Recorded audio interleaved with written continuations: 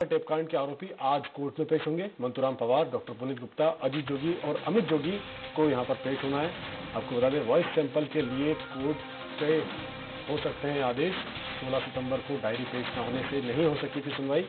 एक दिन बढ़ाकर 17 सितंबर को समय दिया गया है। आपको बता दें, सबसे बड़ी खबर, अंतागढ़ टेपकांड मामले में आरोपी आज कोर्ट में पेश होंगे। मंतूराम पुनीत गुप्ता, अजीत जोगी और अमित जोगी को कोर्ट में पेश होने की बात कही गई है। वॉइस सैंपल के लिए कोर्ट दे सकता है आदेश और साथ में 16 सितंबर को होना था, लेकिन एक दिन बढ़ाकर 17 सितंबर कर दिया गया। और हमारे साथ रायपुर से सुराज संवाददाता सत्या राजपूत सीधे जुड़ चुके हैं लाइव इससे बातचीत करते हैं। सत्या, जिस तरह हम देखें अंतर्गत टेपकांड मामले को लेकर तमाम तरह की चीज़ें सामने आ रही है और अब, यानी कि 16 तारीख तय की गई थी, अब 17 तारीख को उसकी सुनवाई के लिए तारीख मुकर्र की गई है। तो क्या कुछ लगता है? क्योंकि इसके पहले भी कई बार देखा गया है कि सुनवाई के दौरान वॉइस सैंपलिंग के दौरान तमाम बड़े दिग्गज लोग थे जो आरोपी बनाए गए हैं। वो कोई भी सैंपलिंग देने के लिए नहीं आया था और अब फिर एक बार उनको इसके लिए समय दिया गया है। क्या कुछ इसके बारे में अपडेट आपके पास?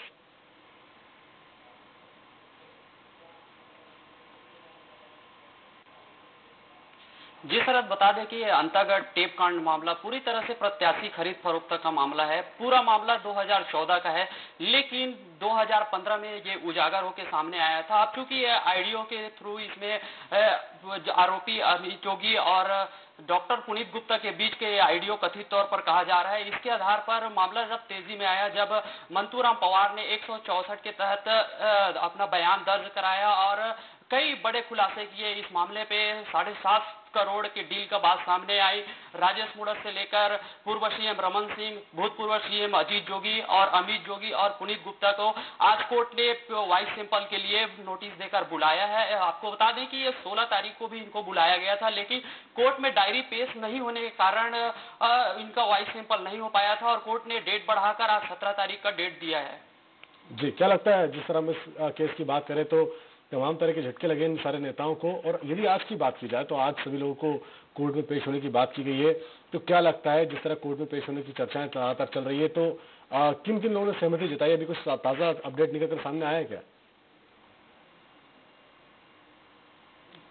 जी हमने कल मंतूराम पवार से बात की तो उनका कहना है कि जिनका भी नाम है उनको आके अपना वाइस सैंपल देना चाहिए। इससे सच की पता चलेगा। वहीं उन्होंने कहा कि जो पूर्व सीएम रमन सिंह है जो डॉक्टर पुनीत गुप्ता को कोर्ट की भेजना चाहिए उनको वाइस सैंपल देना चाहिए इससे सच्चाई का पता चल पाएगा।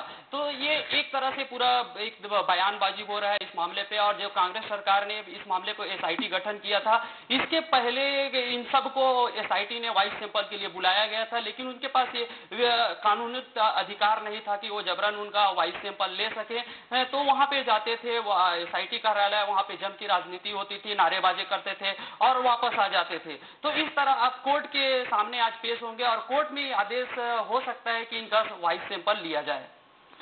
चलिए सत्य हमसे जुड़ने के लिए शुक्रिया और इस पूरे मामले पर नज़र बनाए रखिएगा, क्योंकि एक बहुत पेचीदा मामला है अंतर्गत टेप कांड को लेकर तमाम तरह की चर्चाएँ सामने आ रही थी।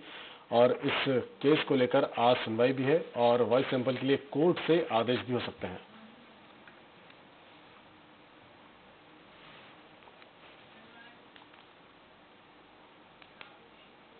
चलिए बात करते हैं भोपाल